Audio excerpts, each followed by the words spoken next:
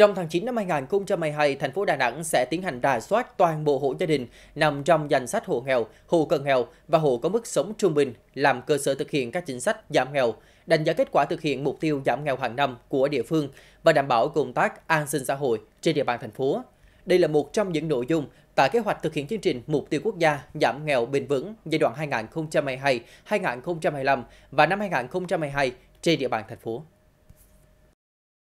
Với mục tiêu giảm nghèo đa chiều bền vững, hạn chế tái nghèo và phát sinh nghèo, đồng thời hỗ trợ người nghèo, hộ nghèo tiếp cận các dịch vụ xã hội cơ bản theo chuẩn nghèo đa chiều, có điều kiện phát triển kinh tế, tăng thu nhập và nâng cao chất lượng cuộc sống giai đoạn 2022-2025. Thành phố Đà Nẵng phân đấu hàng năm giảm từ 1 đến 1,5% hộ nghèo còn sức lao động theo chuẩn nghèo đa chiều. Tín dụng chính sách ấy là một trong những cái giải pháp mà rất là quan trọng để mà giải quyết việc làm giảm nghèo và bảo đảm an sinh xã hội của thành phố Đà Nẵng. Để chương trình giảm nghèo trên địa bàn thành phố đạt được hiệu quả, việc thực hiện đồng bộ các chính sách giảm nghèo và giải pháp tiếp cận các dịch vụ xã hội cơ bản là hết sức cần thiết. Trong đó, đối tượng hộ có mức sống trung bình, đặc biệt là hộ có mức sống trung bình chuẩn thành phố, cần được quản lý và hỗ trợ kịp thời, nếu không rất dễ rơi vào hộ nghèo, hộ cận nghèo.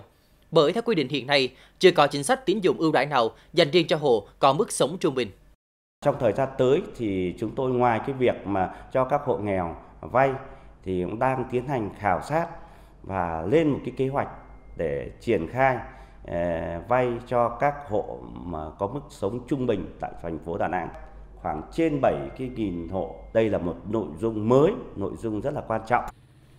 Do đó, trong kế hoạch thực hiện chương trình mục tiêu quốc gia về giảm nghèo bền vững giai đoạn 2022-2025 của Ủy ban nhân dân thành phố Đà Nẵng và nghị quyết 11 của Ban Thường vụ Thành ủy Đà Nẵng đều đưa ra giải pháp hoàn thiện các chính sách, giải pháp giảm nghèo bền vững. Trong đó nêu rõ cần phải nghiên cứu xây dựng chính sách tín dụng ưu đãi đối với hộ có mức sống trung bình, qua đó thực hiện tốt thoát nghèo bền vững, hạn chế tái nghèo, phát sinh hộ nghèo mới trên địa bàn, Hiện Ủy ban nhân dân thành phố Đà Nẵng cũng đã giao Sở Lao động Thương binh và Xã hội phối hợp với Ngân hàng Chính sách Xã hội và các cơ quan, đơn vị liên quan thực hiện khảo sát nhu cầu vay vốn, xây dựng chính sách tín dụng ưu đãi đối với hộ có mức sống trung bình để báo cáo Hội đồng nhân dân thành phố trong phiên họp cuối năm này. Đây là các hộ cần được quan tâm và cần có chính sách tín dụng ưu đãi trong thời gian tới. Trong kế hoạch giai đoạn 2022-2025 sắp đến, thành phố đã có chủ trương ủy thác sang Ngân hàng Chính sách Xã hội thành phố số tiền bình quân 200 tỷ đồng một năm. Trong trường hợp nguồn vốn ủy thác sang ngân hàng, chính sách xã hội thành phố chưa đáp ứng đủ nhu cầu vay của các đối tượng đặc thù trên địa bàn, thì ngân hàng, chính sách xã hội thành phố sẽ báo cáo và ủy ban nhân thành phố sẽ trình hội đồng thành phố thông qua việc bổ sung nguồn vốn vay ủy thác nhằm đáp ứng tốt nhất nhu cầu vốn vay của các đối tượng thụ hưởng